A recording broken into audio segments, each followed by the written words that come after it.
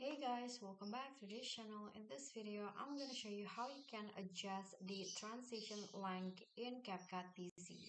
So if you want a transition, so let's say uh, like me, I already added a transition in here and to adjust the length or duration of the transition you can actually just drag the uh, go to the end of the transition and you'll see there is like a double arrow like this. You can drag it like so. You can drag it to the right to make it longer and to the left to make it shorter.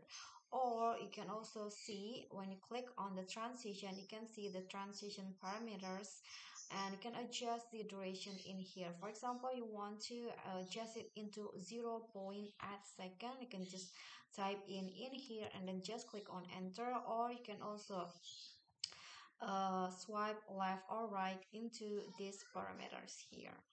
Okay so that's all for me. Thank you guys so much for watching. Don't forget to like comment subscribe and click on the thanks below. I'll see you all in the next videos. Bye